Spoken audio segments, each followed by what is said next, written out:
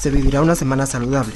El 16 de septiembre inicia la Semana del Bienestar, un plan de la Organización Panamericana de la Salud que busca promover hábitos para contribuir a la salud de las personas, ayudar al cuidado y protección del ambiente, planificación urbana, deporte y recreación. El Ministerio de Cultura y Deportes, a través del Viceministerio del Deporte y la Recreación, se une al movimiento Biciudad, que pretende que la población se movilice en bicicletas durante 7 días.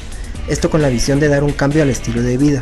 Según indicó la titular del viceministerio, la licenciada María Dolores Molina, es necesario formar hábitos y cambiar el estilo de vida de forma permanente para mantener una buena salud. Se invita a la población guatemalteca a participar en prácticas saludables, incluyendo la adopción de una dieta sana y balanceada.